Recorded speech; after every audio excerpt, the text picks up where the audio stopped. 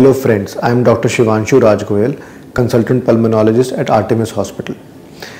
This year, November 16th is being observed as the World COPD Day. What is COPD? COPD basically means chronic obstructive pulmonary disease.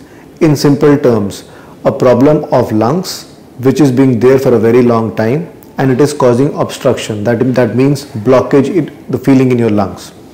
But when I say lungs, COPD is not limited only to the lungs. COPD is a multi-system problem. That means it can affect almost every organ of your body. COPD happens in people who have been smoking or it can also happen in few people who have never been smoking because they have been exposed to biomass fuel, for example, chula, hookah and many other issues. Even occupational exposures can lead to COPD.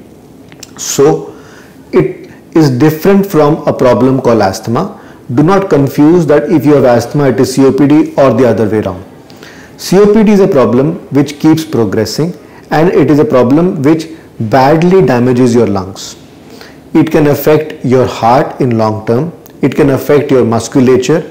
You will feel weak. You will start losing weight. It can affect your psychological stress. That means the severe amount of anxiety and depression can set in in patients of COPD and COPD patients are bound to eventually drop in their oxygen levels. So COPD is a serious problem. In India, more than 30 million people are suffering from COPD, which as part of the India is not a huge percentage, but if you see it as a number of 30 million, it's a very large number of patients which we cater to.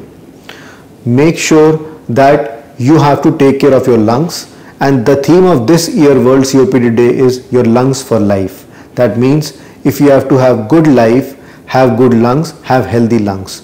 Do not smoke, not even actively and not even passively.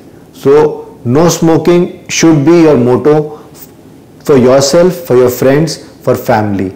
And in case you have a problem in which you think could be affecting your lungs or if you are breathing discomfort, see your doctor at the earliest. Nowadays, the medicines which are available are very advanced, they're really good and they can almost halt or slow down the progression of this problem called COPD. If you do not take precautions or the right measures at the right time, you cannot imagine what you will land up with. There are patients of COPD whom we treat have now being referred for lung transplant. So imagine a problem which can lead to an organ being replaced from your body. So it is a serious problem to be taken seriously but everything has a cure today. So meet your doctor at the earliest and take precautions. Stay healthy. Thank you.